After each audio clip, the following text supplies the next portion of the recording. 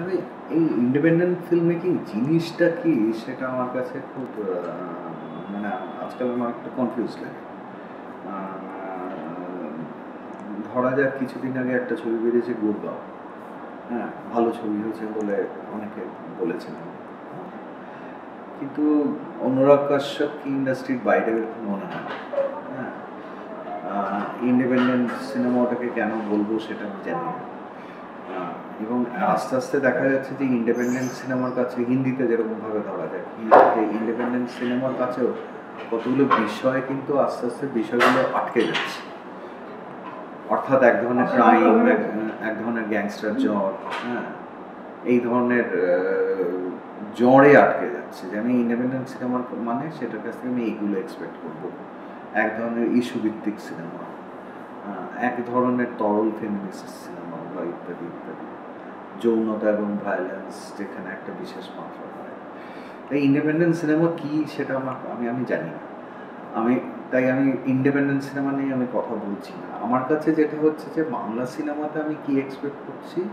সেটা হচ্ছে বাংলা সিনেমাতে আমি এক্সপেক্ট করছি সেই ধরনের ইমেজ সেই ধরনের গল্প, সেই ধরনের চরিত্র যারা এতদিন বাংলা সিনেমার পর্দায় উঠে আসেননি। এবং আমার কাছে সেটা একটা, সেটা হচ্ছে আমার একটা বিশেষ হয়তো অবসেশন আছে সেই দিক থেকে। আমার কাছে খুব বড় জায়গা হচ্ছে কিন্তু মফস্বল। মফস্বল থেকে আসা ছেলে মেয়েদের বলে। যারা হয়তো কলকাতার থেকে কলকাতার জীবনের মধ্যে গ্রন্থিত হয়ে যাবে না, ইত্যাদি সেরকম।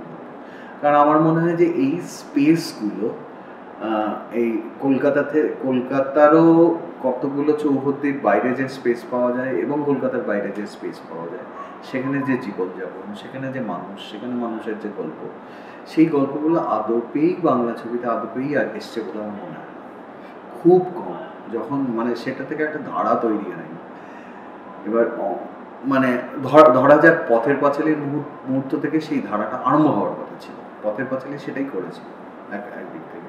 অর্থাৎ পথের পাঁচালীতে যখন তৈরি হয়েছিল, তখন কিন্তু একটা টালিগঞ্জের থেকে বোড়ালের যে দূরত্বটা, এখন টালিগঞ্জ আর বোড়ালের দূরত্বটা সেরকম।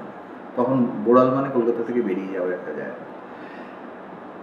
এই জায়গাতেই কিন্তু অমল কথার একটা ভ্যালু আছে। আমি জানি না ভবিষ্যতে কোনোদিন যদি একটা ইন্ডিপেন্ডেন্ট সিনেমা বলব না, আমি বলব নতুন সিনেমা একটা নতুন সিনেমার যদি ধারা তৈরি হয়, সেখানে অমল কথার মতো ছবি কিন্তু প্রিডেসেসর যেতে পারে। একরকমভাবে যে আমি কাদের দেখাবো, কাদের গল্প বলব?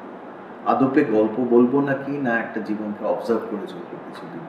সেখান থেকে একটা আবেগ আবেগ তৈরি করে আবেগের নিষ্পত্তি করে দেবো না গোটা ছবিটা একটা আবেগ আবেগ তৈরি করবে যেটা থেকে যাবে ছবি দেখার পরও?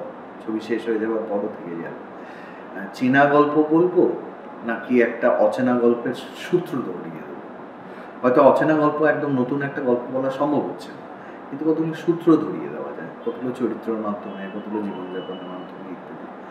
আমার কাছে আমি ভারতবর্ষীয় ইন্ডিপেন্ডেন্ট সিনেমার ক্ষেত্রে জানি না, কিন্তু যেটা হচ্ছে বাংলা সম্ভাবনাময় নতুন ছবির কাছে অমল কথা খুব সফল একটা নতুন ইনস্ট্যান্স আমি না বললেও খুব মানে জরুরি একটা প্রেডেসেসর বলে মনে।